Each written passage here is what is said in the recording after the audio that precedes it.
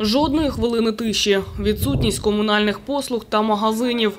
Це Бахмут. Єдине джерело води, харчових продуктів та ліків для жителів міста це гуманітарна допомога та маленькі стихійні ринки. Допомогу привозять і запорізькі волонтери.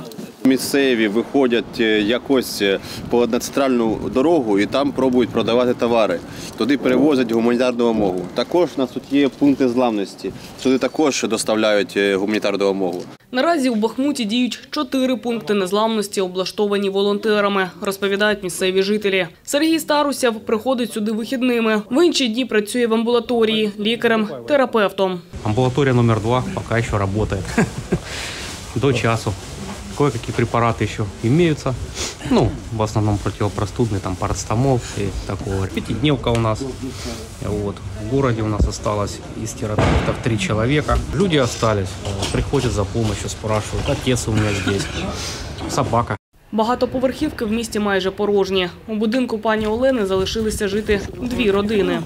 День жителей Бахмута проходит с утра до вечера возле э, буржуйки, потому что топим э, буржуйку, нужно топить углем, дровами. В квартире или Э, В квартире, на кухне у меня. Люди в основном э, ищут чем протопить да, помещение, потому что очень холодно было. А что же дали буржуйки, уголь, палеты выдали. Воду привозят гуманитарки, э, питьевую воду. Э, колодців набирають тут недалеко.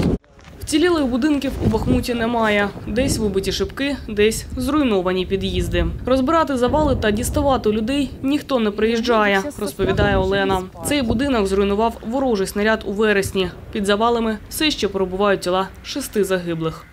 Наш дом полетела труба от канализации старая, аж отсюда, прям под мой подъезд. Одного человека, женщину достали в возрасте, она была на пятом этаже по частям.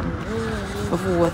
И еще тут э, рассказывали знакомые с Красного села. Женщина и ее мать, вот, ну они в возрасте, приехали за вещами именно в этот вечер.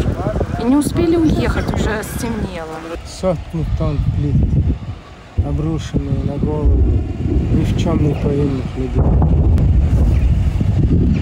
Проклятый русский мир. Карина Галунова, Суспільне новини, Запоріжжя.